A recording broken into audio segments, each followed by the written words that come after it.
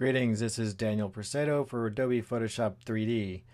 And today we're going to look at the workflow between DAZ Studio to Photoshop using the OBJ file format.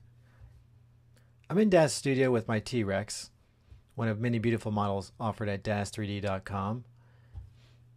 And I'm going to go to the Export menu, save the OBJ as Rex, and I'm going to use a preset that they provide already here. The poser one works really well. I'm going to select write normals and to collect the maps because we do want the textures and materials with the model. We'll say accept. It's exporting it and it's pretty fast. It's done. Let's go to Photoshop.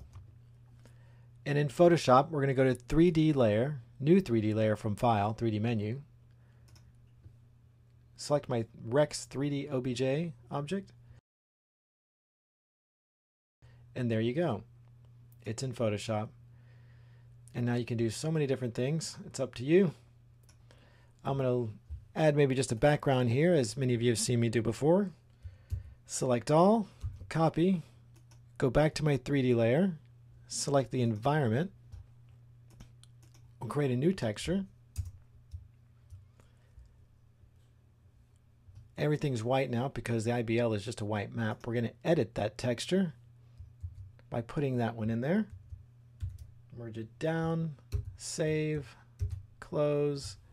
Now I'm going to select the infinite light here and bring it down a little bit. It's a little bit too bright for my taste there.